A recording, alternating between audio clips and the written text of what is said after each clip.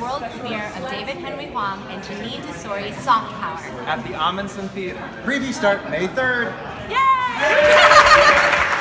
so Soft Power is um, a play that becomes a musical. And this musical has a love story in it and also celebrates, from a Chinese point of view, how China stepped in to lead the world when America collapsed after the 2016 election.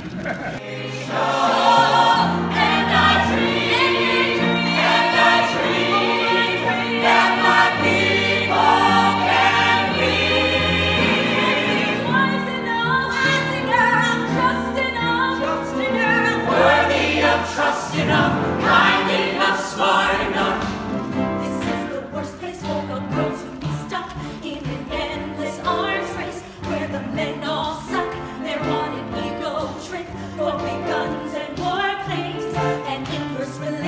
Relationships to their tiny brains.